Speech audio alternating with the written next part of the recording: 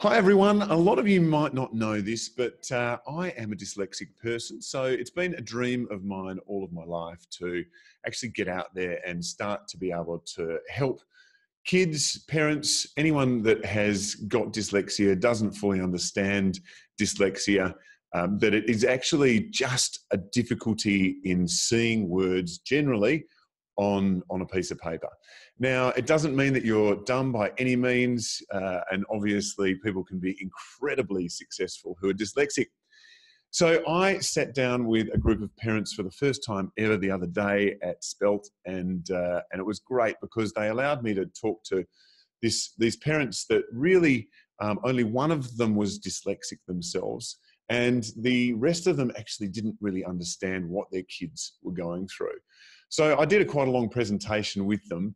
But you know, the thing that really blew them away the most was when I showed them this actual um, example of what dyslexics see. So the big thing that most um, people don't understand is that dyslexic people are very different, and every single one of them sees something completely unique to the other when they are reading.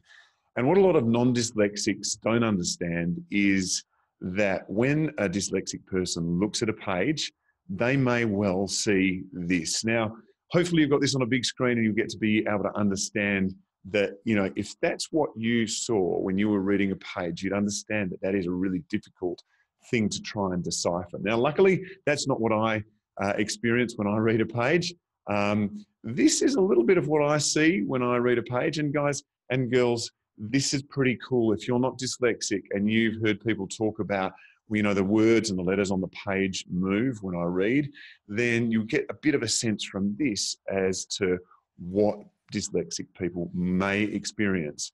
Um, now, this is obviously a very difficult thing to read if you're a non dyslexic, but just take a little bit of time to feel a little bit of empathy now when you are um, seeing a dyslexic person. They're saying, Oh, it's more difficult for me than you.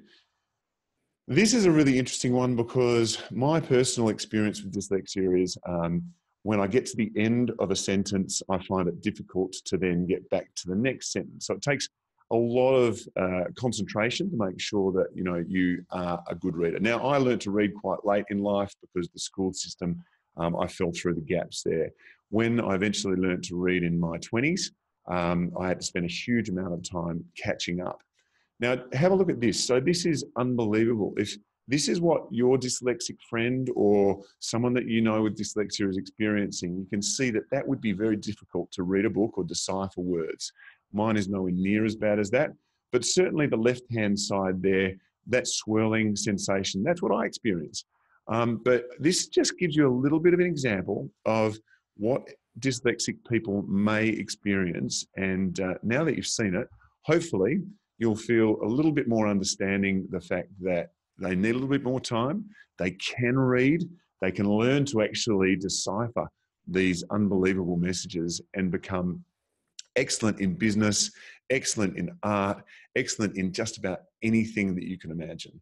So, um, I will be talking a little bit more about dyslexia in the future. And if anyone has got kids with dyslexia, um, please show them this and let them know that they themselves can be incredibly successful human beings, um, like I feel like I am, because I overcame the fact that uh, I felt stupid at school, and um, and really now, uh, re- really, you get to see things in a totally different way, being a dyslexic person.